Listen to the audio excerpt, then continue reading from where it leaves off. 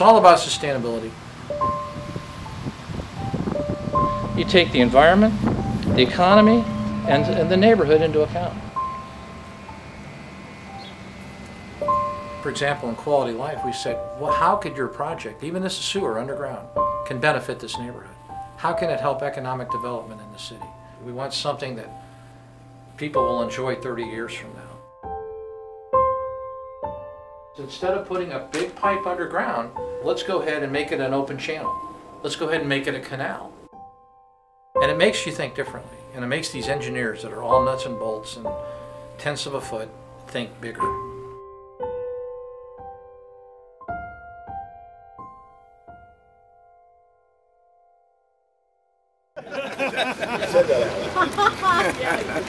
Okay.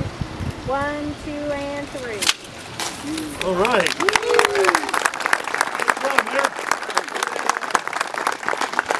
When we started looking at how we begin to redevelop our downtown, we knew that the storm drainage right down through the heart of the downtown on Walnut Street was only 18 inches in diameter.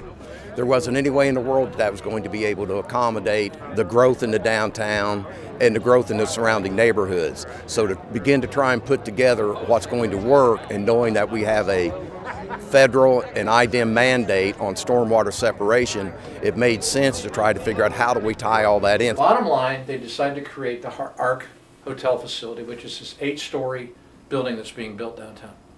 Um, in addition, there's a big parking garage that's building right next to it. Those two structures were built right along those 18-inch pipes that were not nearly big enough to build that, to take any waste, uh, stormwater runoff or the wastewater that would be generated by the hotel. So that was problem A.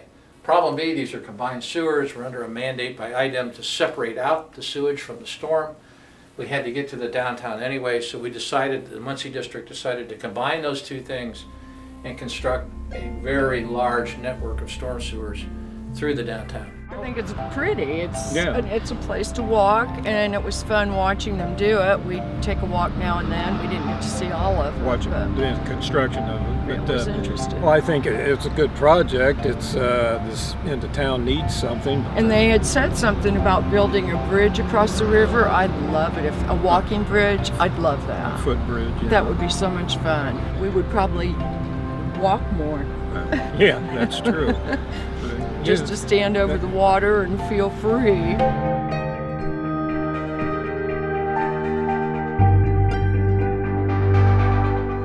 This is going to be a small segment of a very large uh, plan for the city of Muncie.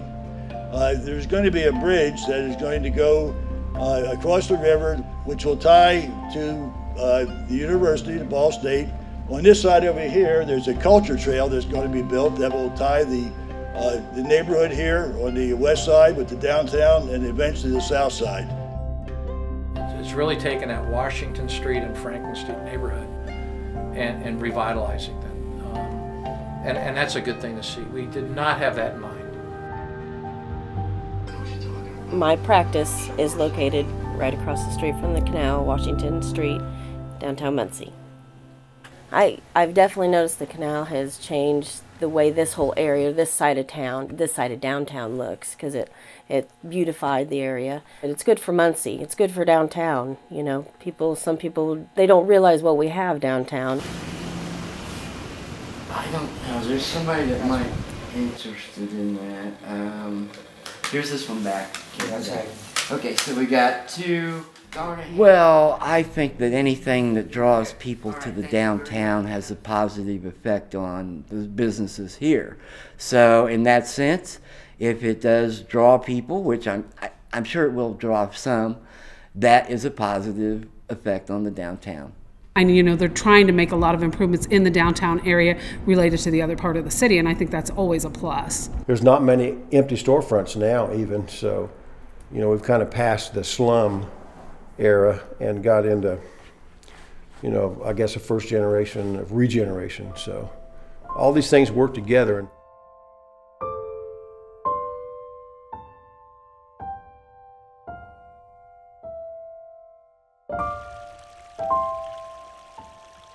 so here's the deal.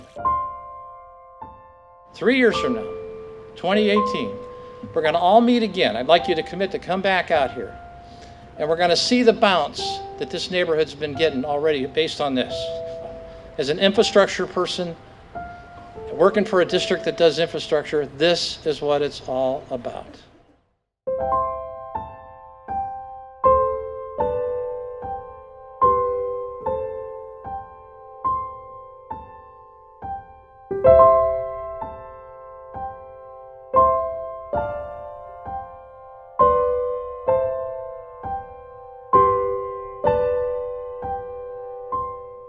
Is there anything more important